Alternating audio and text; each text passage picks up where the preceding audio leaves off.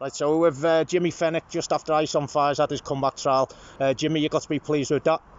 Really pleased. Um, you know, obviously, come back from a bad injury that he's had, and I know it's only seven weeks from he done the injury, but we've took all the guidance from Declan Merriman to get him back to the track, and uh, they asked us test his run on the track, and uh, I think he's gone exceptionally well.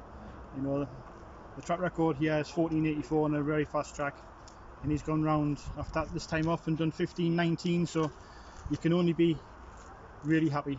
Uh, he's walked off there and he's walked off sound.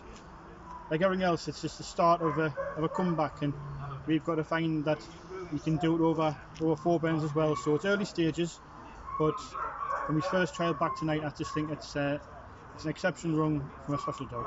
Yeah, yeah, he's gone real well, Jim. Yeah.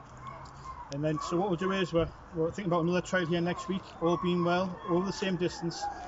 And if we can just uh, get him past, you know, a trial or two, another two five five metre trial, and we'll see how he is after that. And step at a time, and then 480, and then probably look to put him 500 metre trial after that. So, uh, yeah, we're, we're planning to see.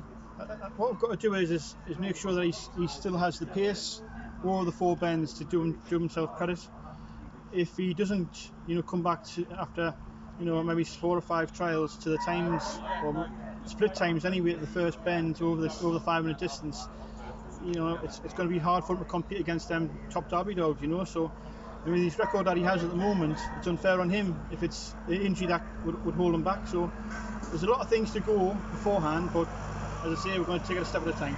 Okay, thanks very much, Jim. Good Thanks, seeing Mark. back. Thank you.